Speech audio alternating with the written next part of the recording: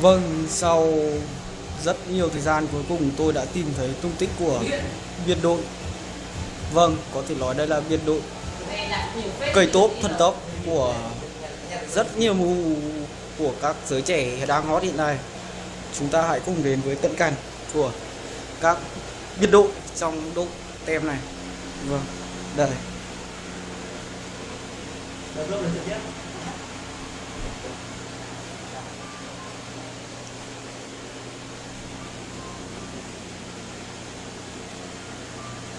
Ấn tượng nhất là anh này có quả cây rất là khủng.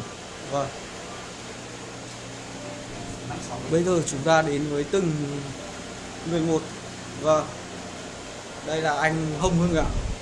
Hồng hưng của rất nhiều các mũ hiện nay anh đua tốt rất là kết rất nhiều anh tốt, ăn anh toàn ăn tốt. Vâng. Anh có lời gì nói với cả tất cả anh em chúng ta không? Từ bị chết gấu đây này thôi.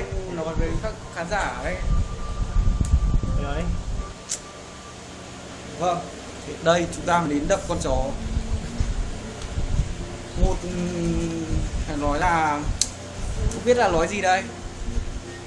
Gọi là sóc kiếm hợp bích cả Hồng Hưng cũng trên đèo đường mù rất nhiều toàn tốt. Vâng. Anh có nói gì với cả tất cả game thủ chúng ta về bí quyết cây tốt không? Anh nói đi Anh anh Anh nói đi.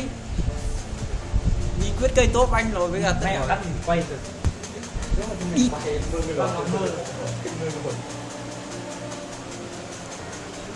đây là Lan Quế Phương. Top 2 mu Hà Nội. Và đây rất có thể là top 1 mu Việt server Hezat của chúng ta. Lan Quế Phương đây là Copper Kim top 1 CF vâng.